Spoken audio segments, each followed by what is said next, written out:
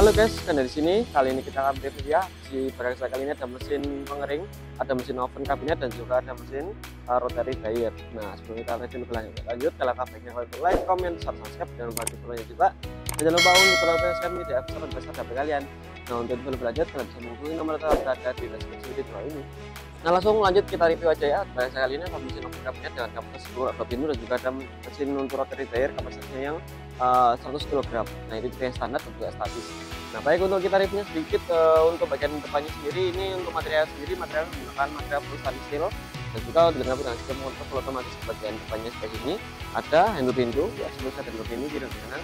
Nah untuk bagian mesin rotornya sendiri sudah menggunakan material besi baja sangat kuat dan kuat juga tentunya dan dilengkapi dengan uh, satu lubang itu ini digunakan untuk pemasukan dan pengeluaran daripada materialnya seperti itu ya. Dan juga untuk mesinnya sendiri ini menggunakan besi baja. Jadi untuk kokorannya itu sangat kuat dan juga tentunya nah untuk bagian depannya nanti dekat kontrol otomatis juga bagian depan. Ada port mesinnya ada juga alat indikator merah juga ada uh, untuk timernya pengatur waktunya juga dilengkapi dengan uh, push button digunakan untuk untuk pemutaran dunia dan juga ada uh, tempat pengaturan termokontrol ataupun suhunya. Nah untuk bagian bawahnya ini dilengkapi dengan roda. Nah ini digunakan untuk balancing ataupun pemutaran sendiri. Juga untuk bagian bawah nanti dilengkapi dengan uh, panel pemanas itu digunakan untuk uh, pemanasan daripada drumnya jadi untuk overflownya itu seperti ini.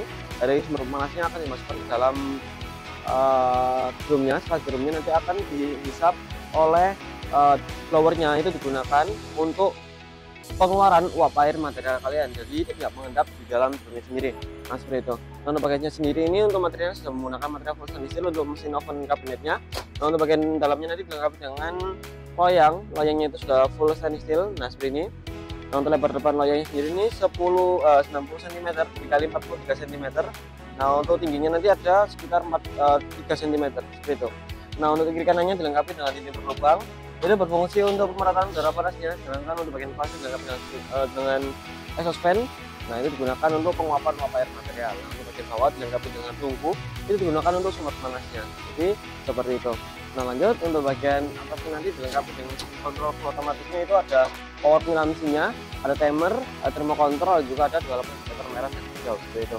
Nah untuk komoditasnya sendiri untuk mesin rotary ini komoditasnya itu seperti uh, padi, jagung ataupun kompos dan juga yang bisa seperti singkong juga bisa tentunya. Dan juga untuk mesin touring oven ini ini juga cocok digunakan untuk penggunaan seperti uh, material ikan, ya, ikan asin ataupun material kerupuk seperti itu dan juga bisa digunakan untuk pengeringan material seperti arang basah juga bisa menggunakan uh, mesin oven cabinet seperti itu nah untuk mesinnya sendiri untuk dimensinya untuk lebar depannya ini sekitar 100 cm itu panjang belakangnya itu sekitar uh, 60 cm tingginya itu sekitar 170 cm sedangkan untuk mesin ini mesin rotary lebar depannya itu 90 cm itu panjang belakangnya itu sekitar 100 cm dan tingginya itu sekitar 145 cm Nah lanjut untuk mesin pengering oven kami memiliki berbagai macam tipe dan kapasitas. Yang pertama ada yang kapasitasnya paling kecil 501 pintu, ada yang 500 pintu, ada yang 10 lampu UV dan juga kami memiliki untuk yang 1 pintu dan juga ada 10 2 pintu. Kami juga memiliki untuk 20 lampu UV dan juga 20 uh, standar. Ada yang paling besarnya 40 rak seperti itu. Nah untuk mesin pengering rotary ini kami ada yang kapasitas 100 kg, 200 kg, 300 kg dan juga paling besarnya itu 400 kg dan yang paling besarnya itu 500 kilo nah untuk mesin pengering kita juga memiliki berbagai macam tipe ya. Ada yang tipe yang statis ada tipe, ya, ada tipe yang continuous. Dan untuk bahan materialnya kami ada yang menggunakan material standar. Nah ini menggunakan produksi ada juga yang menggunakan material seperti um, menggunakan stainless food grade 304 nah untuk bahan bakarnya kami ada bahan bakar gas LPG full listrik dan juga ada yang hitam ataupun biomasa Nah, untuk kelebihan daripada mesin pengering kita yang pertama ini untuk pengirimannya kita support seluruh Indonesia dan juga untuk packing sudah di daerah Sidoarjo Surabaya sekitarnya. Dan juga untuk mesin pengering kita tentunya dilengkapi dengan garansi atau terpat. Nah, nah untuk mesin pengering kita juga dilengkapi dengan sistem overheating. Nah, pengeringan overheating. Apa itu sistem overheating?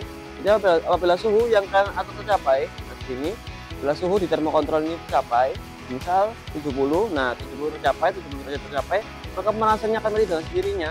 Dengan apabila suhu yang kalian atur ini dan 70 tersebut di bawahnya ataupun menurun maka pemanasannya akan menyala kembali. Dan sistemnya itu matinya mati nyala hingga timer yang kalian tentukan ini. Nah timer ini tentukan tercapai. Nah, untuk mesin pengering kita uh, memiliki banyak tipe dan juga kapasitas yang meramah daya pengering perangnya sama ada dryer, ada air dryer dan juga ada yang mesin uh, vertical dryer. Nah, untuk mesin pengering makanan kami ada mesin oven cabinet, mesin sangrai, ada juga untuk uh, spinnernya dan juga ada bandar kebab. Sedangkan untuk mesin pengering serbaguna kami ada pemanas ruangan, ada yang menggunakan bahan bakar diesel biji, juga biomasa. Nah, untuk mesin pengering Nah, untuk mesin pengering laundry kami ada tumble dryer, lemari pengering, pengering karpet, panas ruangan, panas ruang sauna. Kami juga ada pengering karpet, panas ruangan, juga ada pengering helm dan juga pengering sepatu. Nah, terima kasih kalian telah melihat video saya sampai habis. Jangan lupa kalian like, comment, share, subscribe dengan bunyi juga.